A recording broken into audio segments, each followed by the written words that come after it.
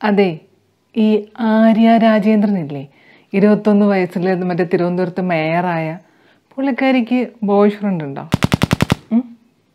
ഉണ്ടോ? ഒരു മേയർ സ്ഥാനത്തൊക്കെ ഇരിക്കുമ്പോൾ കുറച്ച് സ്റ്റൈലിഷ് ആയിട്ടൊക്കെ നടക്കുക ഇതൊക്കെ മേക്കപ്പ് ഒക്കെ ചെയ്തൊന്ന് വൃത്തിയായിട്ടൊക്കെ നടക്കാൻ പാടില്ല. ഇതെന്താ ഇങ്ങനെ മേക്കപ്പ് ഒന്നും ചെയ്യാണ്ട് നടക്കണേ? അയ്യോ ഈ അനുജയ്ക്ക് എന്ത് പറ്റി? യൂട്യൂബ് ചാനലിലെ തീമൊക്കെ മാറ്റി ഇനി ഗോസിപ്പ് ചാനൽ തുടങ്ങാൻ പോവുകയാണോ എന്ന് സംശയിച്ച് എന്റെ ഓരോ പ്രേക്ഷകരോടും ഒരു വലിയ നോ പറഞ്ഞുകൊണ്ട് തന്നെ പറയട്ടെ. ഇതൊന്നും എന്റെ സംശയങ്ങളായിരുന്നില്ല.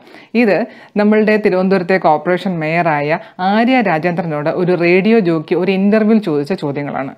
സംശയമുണ്ടോ? നീ കണ്ടു നോക്ക്. ബോയ് ഫ്രണ്ട് ഉണ്ടോ എന്ന് ആരെങ്കിലും ചോദിച്ചിട്ടുണ്ടോ? മേക്കപ്പ് തീരെ ഇല്ലെന്ന് തോന്നുന്നു. ഈ വീഡിയോ കണ്ടപ്പോൾ രണ്ട് തരത്തിലായിരിക്കും പലരുടെയും ചിന്തകൾ പോയിട്ടുണ്ടാവുക. ഒന്ന് ഒരു മേയറിനോടൊക്കെ ചോദിക്കാൻ പറ്റുന്ന ചോദ്യമാണോ ഇത് എന്നായിരിക്കും. രണ്ടാമത്തെ ചിന്ത ഇരുപത്തൊന്ന് വയസ്സുള്ള ഒരു പെങ്കൊച്ചല്ലേ അതിനോടിപ്പോൾ മേക്കപ്പിന്റെ കാര്യമോ അല്ലെങ്കിൽ ബോയ് ഫ്രണ്ടിന്റെ കാര്യമൊക്കെ ചോദിച്ചാൽ എന്താ കുഴപ്പം എന്നും ചിന്തിച്ചിട്ടുണ്ടാകും. രണ്ട് രീതിയിൽ ചിന്തിച്ചവരും ഒന്ന് വെയിറ്റ് ചെയ്യണേ. അടുത്തതായി നമ്മളുടെ മേയർ മാഡം എന്ത് മറുപടിയാണ് ഈ ചോദ്യങ്ങൾക്കൊക്കെ കൊടുത്തതെന്നൊന്ന് കണ്ടിട്ട് വരാം. ഇല്ല അങ്ങനെ ആരും ചോദിച്ചിട്ടില്ല. രാഷ്ട്രീയ രംഗത്ത് നിൽക്കുന്നതുകൊണ്ട് തന്നെ ആ ചോദ്യത്തിന് ഒരു പ്രസക്തി ഉണ്ടെന്ന് എനിക്ക് തോന്നുന്നില്ല. വസ്ത്രത്തിലോ ഒന്നും അല്ലല്ലോ കാര്യം. നമ്മുടെ പേഴ്സണാലിറ്റിയിലും ഒക്കെ തന്നെയാണ്. കാണുന്നത് പോലെ ഒന്നും അല്ല. നമ്മുടെ പേഴ്സണാലിറ്റിയിലാണ് കാര്യമെന്ന് വിശ്വസിക്കുന്ന ഒരാളാണ്.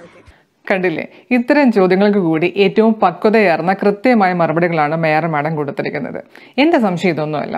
ഇരുപത്തിയൊന്ന് വയസ്സുള്ള ഈ ഒരു പെൺകുട്ടിക്ക് പകരം ഇരുപത്തിയൊന്ന് വയസ്സുള്ള ഒരു ആൺകുട്ടിയാണ് മേയർ സ്ഥാനത്ത് എത്തിയിരുന്നതെങ്കിൽ ഏതെങ്കിലും അവതാരകർ ഇത്തരത്തിലുള്ള തേർഡ് റേറ്റ് ചോദ്യങ്ങളൊക്കെ ചോദിക്കാൻ മുതിരുമായിരുന്നു എന്നുള്ളതാണ് എന്റെ സംശയം.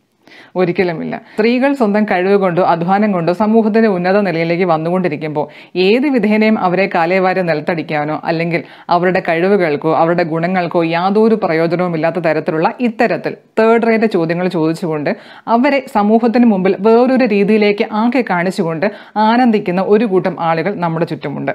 അതായത് സ്ത്രീകൾ നേരിട്ടുകൊണ്ടിരിക്കുന്ന കുറേയധികം ക്ലീഷേ ചോദ്യങ്ങൾ. അത്തരം ചോദ്യങ്ങളെ കുറിച്ചിട്ടാണ് ഇന്നത്തെ വീഡിയോയിൽ പറയുന്നത്. ഇനി മറ്റൊരു ക്ലീശ ചോദ്യത്തെക്കുറിച്ച് പറയട്ടെ. സാധാരണ നമ്മൾ ഈ ഫീമെയിൽ ആർട്ടിസ്റ്റുകളുടെ സെലിബ്രിറ്റി ഇന്റർവ്യൂകളൊക്കെ കാണുന്ന സമയത്ത് തൊണ്ണൂറ്റി ഒൻപത് ശതമാനം അവതാരകരും ചോദിക്കുന്ന ഒരു ചോദ്യമുണ്ട്. ദാറ്റ് ഏട്ടന്മാരുടെ കൂടെ അഭിനയിച്ച എക്സ്പീരിയൻസ് ഒന്ന് പറയാമോ എന്നുള്ളത്. അപ്പോൾ നമ്മൾ പ്രതീക്ഷിക്കുന്ന ഒരു മറുപടി എന്താ? ആ പെൺകുട്ടി പറയാൻ പോകുന്നത് ആ ഏട്ടന്മാരില്ലായിരുന്നെങ്കിൽ എനിക്ക് അഭിനയിക്കാനേ പറ്റില്ലായിരുന്നു. ആ ഏട്ടന്മാർ എന്നോട് ഇങ്ങോട്ട് വന്ന് സംസാരിച്ചു എന്റെ പേടി മാറ്റി അങ്ങനെയാണ് ഇങ്ങനെയാണ് എന്നൊക്കെ പറയണം. ഇനി ആ സംസാരിക്കുന്ന പെൺകുട്ടി കുറച്ച് ബുദ്ധിയും ബോധവും ഉള്ള പെൺകുട്ടിയാണെങ്കിൽ ഒരു പക്ഷേ പറഞ്ഞെന്നിരിക്കും കുറച്ചുകൂടി നിലവാരമുള്ള ചോദ്യങ്ങൾ എന്നോട് ചോദിക്കാൻ പാടില്ല എന്ന്.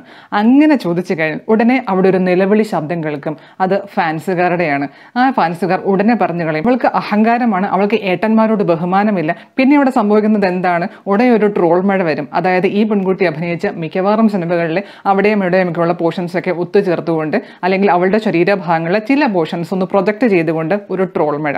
ആ പെൺകുട്ടി പിന്നെ പുറത്തേക്ക് ഇറങ്ങുമ്പോൾ മാനസികമായും സാമൂഹികപരമായും ഒറ്റപ്പെടുവാനുള്ള എല്ലാ കാര്യങ്ങളും നമ്മുടെ സൈബർ ആങ്ങളമാർ ചെയ്തു വെക്കും. സ്വാഭാവികം.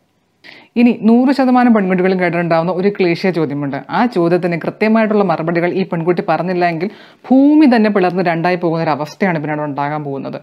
എന്താണ് ആ ചോദ്യം എന്നല്ലേ? പാചകം അറിയാമോ?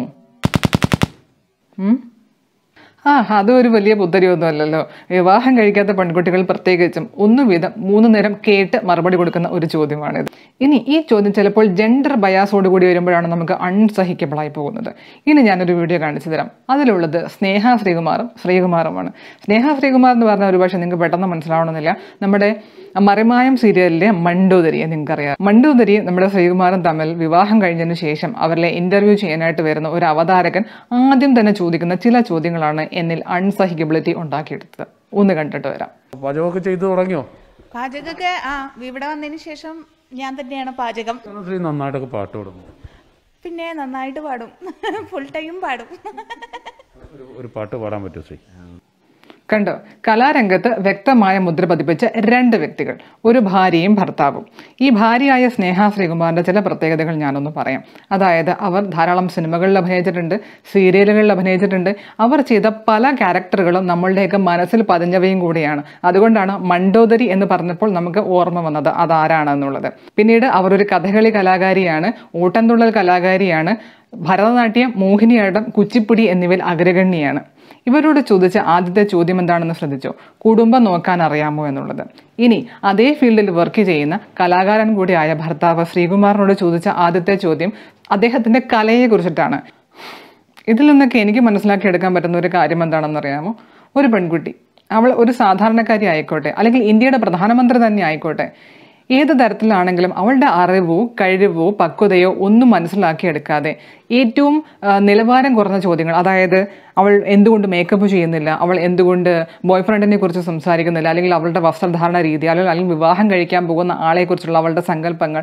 ഇതൊക്കെ അല്ലാതെ വേറെ ഒന്നും ചോദിച്ചാൽ പറയാനുള്ള അറിവും പ്രാപ്തിയും ഒരു പെൺകുട്ടിക്ക് ഇല്ല എന്നാണ് പലരുടെയും ധാരണ. ഇത്തരം ചിന്തകളൊക്കെ ഇപ്പോഴും കൊണ്ട് നടക്കുന്നവർ ഇത്തരത്തിലുള്ള ക്ലീശ ചോദ്യങ്ങൾ മാത്രം ചോദിക്കാൻ വെമ്പുന്നവർ ദയവായി മനസ്സിലാക്കേണ്ടുന്നൊരു കാര്യമുണ്ട്.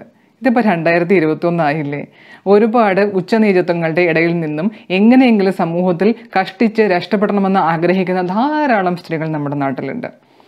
പ്രോത്സാഹിപ്പിക്കാൻ പറ്റിയില്ലെങ്കിലും നിരുത്സാഹപ്പെടുത്താതിരിക്കാൻ പാടില്ലേ?